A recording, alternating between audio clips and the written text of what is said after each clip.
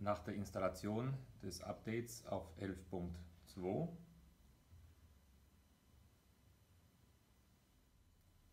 funktioniert das Autofokus in Verbindung mit einer Handyhülle nicht mehr. Beweis, wir starten die Kamera und stellen fest, sie fokussiert einwandfrei.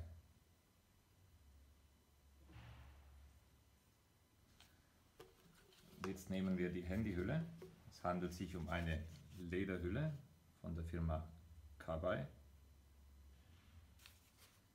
mit einer Kunststoffrückseite, also kein Metall und mit einem durchgängigen Fenster für die Kamera, also keinerlei Glas oder Abdeckung hier drin. Wir stecken das iPhone in die Hülle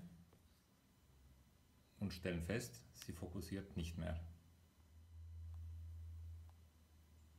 Es ist also nicht mehr möglich zu fokussieren. Autofokus ist schlicht und ergreifend ohne Funktion. Wir entfernen das iPhone X wieder aus der Hülle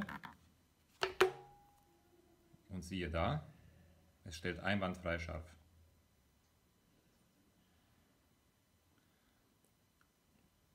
Das Ganze war nicht der Fall mit der Version 11.1. Es scheint also mit dem Upgrade auf 11.2 zusammenzuhängen.